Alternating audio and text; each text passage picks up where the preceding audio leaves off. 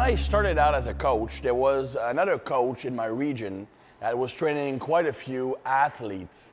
And the guy was learned mostly uh, like typical bodybuilding kind of training. And when he started wanting to incorporate high performance work like the Olympic lifts, well, he would do them the same way he would do a training program for bodybuilders. So, for example, when you're building a program for bodybuilders, you're training chest, you're gonna have four exercises. Let's say bench press, four sets of 10. Then incline press, four sets of 10. Then uh, maybe decline press or dips, four sets no, no. Then pec deck, four sets. Basically, each muscle group was trained with a wide number, a lar- large number of exercises because you need to fatigue the muscle from all various angles to get all those fibers.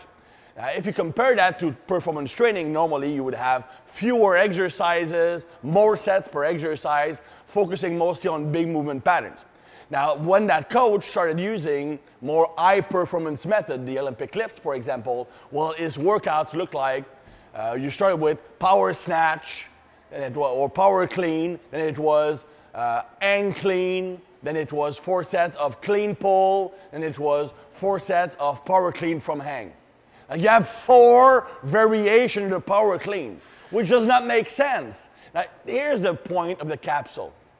You don't use a hammer the same way as we use a saw. A power clean cannot be trained the same way as a deadlift. A deadlift should not be trained the same way as a bench press. A bench press should not be trained the same way as a curl, meaning sets, reps, training methods, and how far you go close to failure, for example. Like on a biceps curl, I recommend always going to failure or close to it because it's a low cost exercise. There's very little neurological fatigue from doing a biceps curl. So going to failure, which increases the stress on the nervous system, will not get you overboard. But if I'm trying to go to failure on a deadlift, then I'm creating a lot more neurological stress than not going to failure. Even worse, if I go to failure on a power snatch, then the neurological stress is even higher. So you can't use the same level of intensity on, on all of these type of exercises. Same thing on when it comes to progression. Like on the military or power clean, for example, adding five pounds per week might be a lot of weight, but five pounds on a deadlift is nothing. Five pounds on a curl is a high weight. So you cannot use the same approach with all of these methods.